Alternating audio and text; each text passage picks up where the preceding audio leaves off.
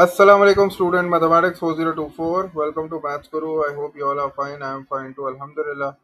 Student this is a question on everyday mathematics and this is a paper 2 question so calculator is allowed.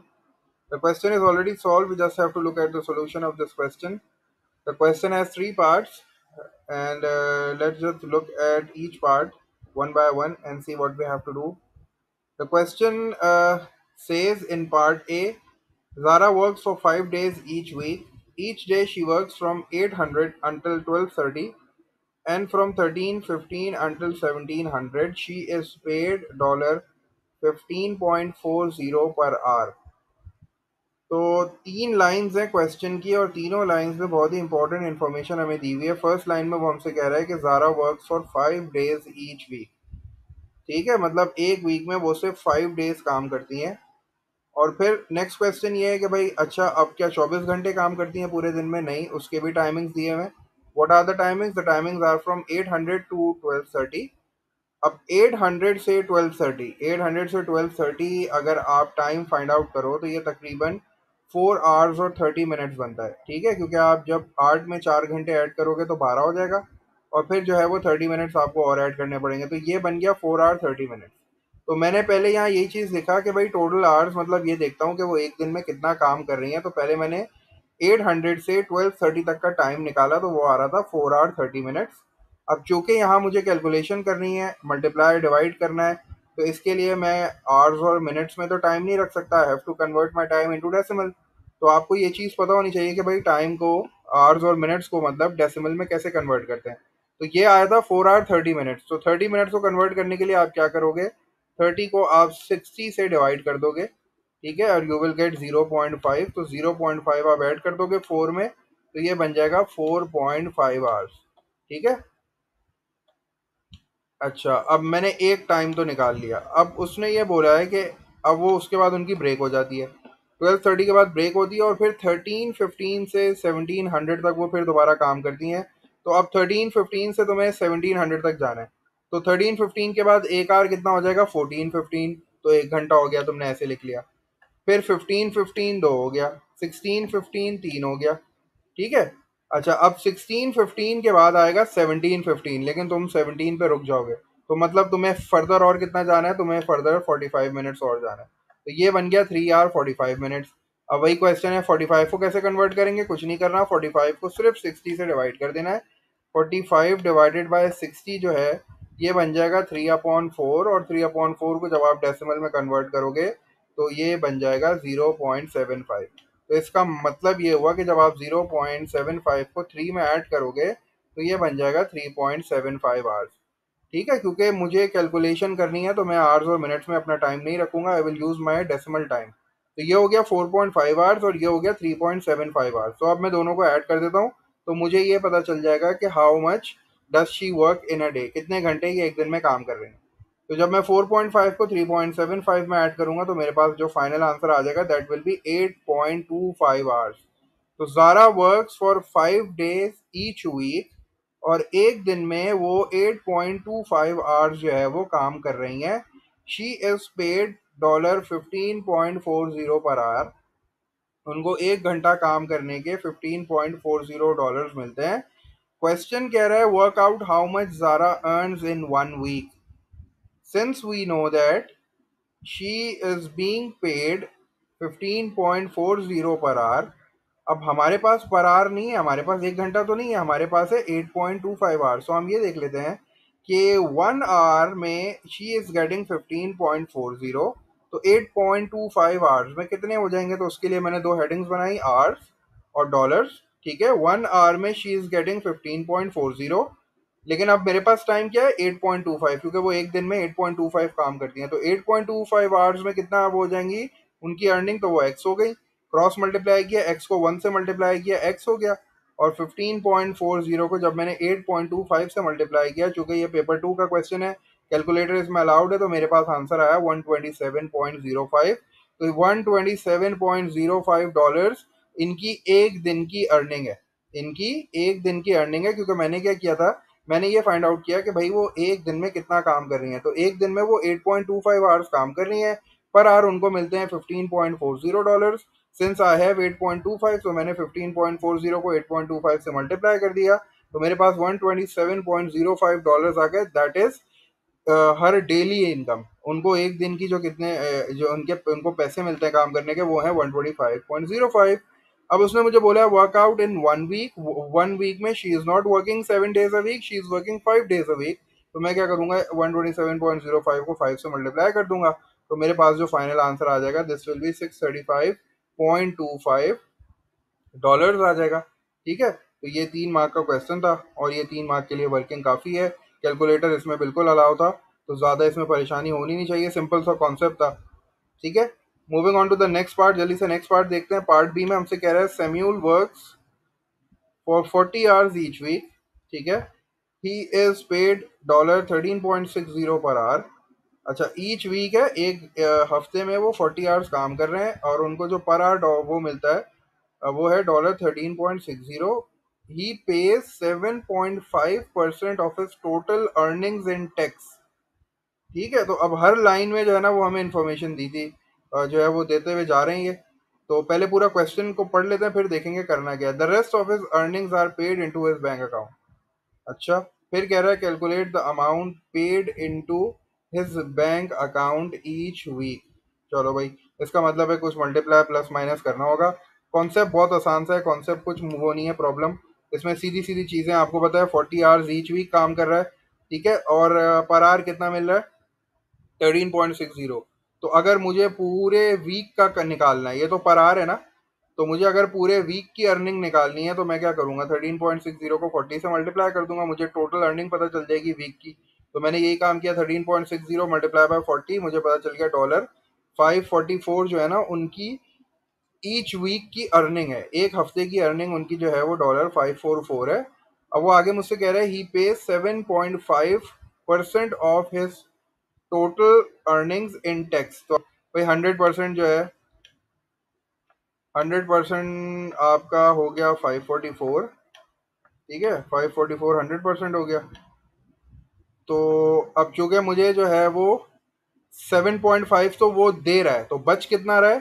Seven point five तो वो दे रहा है तो बच कितना रहा है? नाइन्टी टू पॉइंट फाइव तो नाइन्टी टू पॉइंट फाइव कितना हो जाएगा? क्योंकि मुझे तो रिमेनिंग अर्निंग चाहिए ना। The rest of his earnings are paid into his account तो मुझे तो वो चाहिए। तो मुझे ये नहीं चाहिए कि 7.5 कितना है तो मुझे तो 92.5 चाहिए। एक्स किया क्रॉस मल्टीप्लाई कर लिया तो 544 मल्टीप्लाई बाय 92.5 डिवाइड बाय 100 हो गया। तो जो रिमेनिंग अमाउंट हो गया, वो हो गया 503.2 ठीक है?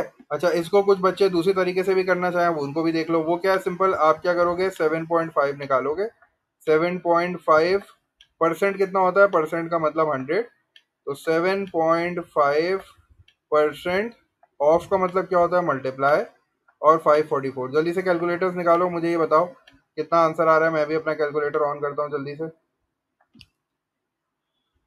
तो सेवन पॉइंट फाइव लिया तुमने सेवन पॉइंट फाइव प्रेस किया multiply by five forty four और जो भी आंसर आया उसको डिवाइड कर दिया हंड्रेड से। तो तुम्हारे पास जो आंसर आया डेसिमल्स में वो आया फोर्टी पॉइंट एट ठीक है? अच्छा अब ये 40.8 तो 7.5 परसेंट है ना? तो अगर ये 40.8 वो टैक्स में दे देता है तो रिमेनिंग कितना बचता है? तो रिमेनिंग कैसे बचेगा? 544 में से यू विल जस्ट सब्ट्रैक्ट 40.8 तो मैंने यहाँ यही लिख लिया 544 माइनस फोर्टी जब तुम कैलकुलेटर यूज़ करोगे दोबारा जल्दी से, और माइनस करके मुझे बताओ, क्या तुम्हारा आंसर 503.2 आ रहा है?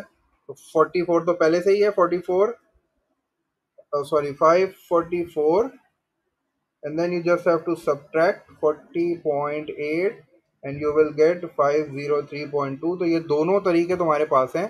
तुम्हारी मर्ज़ी है, तुम जो तरीका फॉलो कर लो। If you want to find out the 7.5 percent तो वो भी कर सकते हो बिल्कुल। ठीक है? या फिर तुम ये इस तरीके से करना चाहो, ये मेथड नंबर वन हो गया। If you want to do it like this आप इस तरह कर लो। या फिर ये सेकंड मेथड है, इससे भी बिल्कुल सेम आंसर आएगा। यहाँ तुम्हें क्रॉस मल्टीप्लाई करना पड़ेगा। जब आप क्रॉस मल्टीप्लाई करोगे तो आपके पास एक्स की डायरेक्ट वैल्यू आ जाएगी, जो कि होगी आपकी five zero three point two तो ये भी बड़ा आसान सा क्वेश्चन था सिंपल सा कॉन्सेप्ट था इसमें भी। उसने हमें जो है वो ये बता दिया था ईच वीक वो फोर्टी आवर्स काम कर रहा है। पर आवर हमें दे दी थर्टीन पॉइंट सिक्स ज़ीरो हमने टोटल अर्निंग निकाल ली, ये जो वीकली थी। ठीक है? अच्छा अब यहाँ उसने मंथ का ज़िक्र ही नहीं किया तो आपको मंथ की फ़िक्र करने की ज़रूरत ही नहीं है। जो उसने इन्फॉर्मेशन दी हुई है, बस उसी इन्फॉर्मेशन से हमने काम कर लिया। ईच वीक उसने बोला था तो हमने वीकली पे उसकी निकाल ली और उसी वीकली पे का 7.5 परसेंट निकाल के आ, उसको माइनस कर दिया तो मेरे पास जो है वो रिमेनिंग अमाउंट आ गया जो कि 503.2 है। चलो अब जरा पार्ट सी देख लेते हैं जल्दी से पार्ट सी में मुझसे कह रहा है Jacob invest 750 dollars in an account that pays 2.1 percent per year simple interest अच्छा अब यहाँ सिंपल इंटरेस्ट में जो है वो एक अकाउंट हमें 2.1 परसेंट का रेट दे रहा है। अच्छा Mary invest 750 dollars in an account that pays P percent per year compound interest अच्छा एक अकाउंट पे हमें सिंपल इंटरेस्ट मिल रहा है जो जेकब का है, और जो मैरी का अकाउंट है, उसमें हमें कंपाउंड इंटरेस्ट मिल रहा है। जेकब का जो रेट है, वो 2.1 परसेंट का है, लेकिन मैरी का उसने हमें रेट नहीं दिया, वो जो कि हमें फाइंड करना है।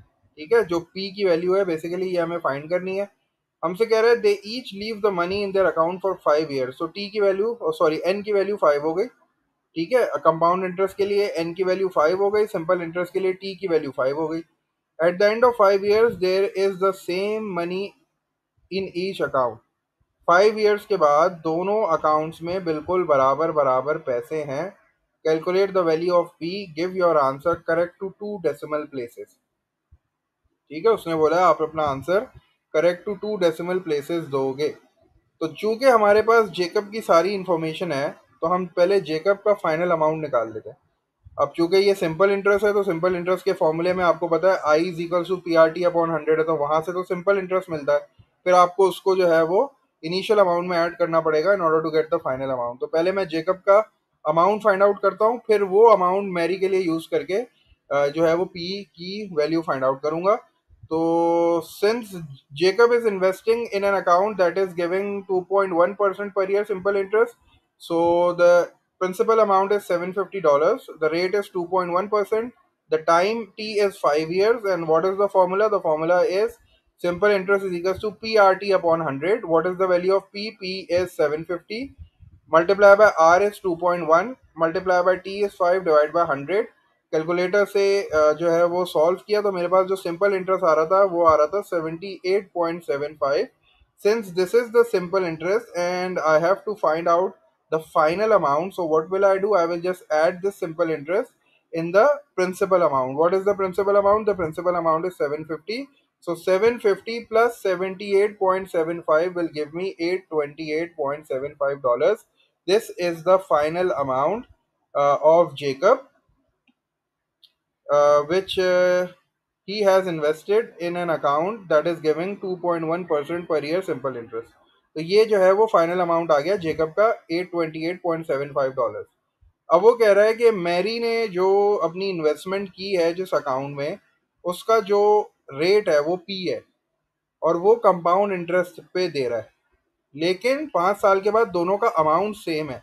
तो I will just use this account sorry amount यही वाला अमाउंट मैं दोबारा यूज़ करता हूँ। चूँकि यहाँ कंपाउंड इंटरेस्ट है तो कंपाउंड इंटरेस्ट का फॉर्मूला हमारे पास क्या होता है? हम एफ़ से शुरू करते हैं एफ़ इज़ इक्वल्स टू हमें एफ़ पता है हमें फाइनल अमाउंट यहाँ पता है। पी हमें पता है, ठीक है? पी हमें पता है क्या है P P is seven fifty और फिर आगे होता है one plus R upon hundred ये आर अपॉन हंड्रेड हो गया। और आर अपॉन हंड्रेड पे पावर एन होती है। ऐसे ही होता है ना? यही कंपाउंड इंटरेस्ट का फॉर्मूला है। चलो भाई, अब जल्दी जल्दी वैल्यूज़ कोट करते हैं। अच्छा मैंने ये प्रीवियस उसमें वीडियो में बताई थी, आप इसको इस तरह भी लिख सकते हो। You can take hundred as LCM जब आप हंड्रेड एलसीएम लोगे तो ये न्यूमरेटर में हंड्रेड प्लस आर आ जाएगा। ठीक है तो दोनों फॉर्मूलाज बिल्कुल सही हैं, आपकी मर्ज़ी आप जो भी यूज़ करो।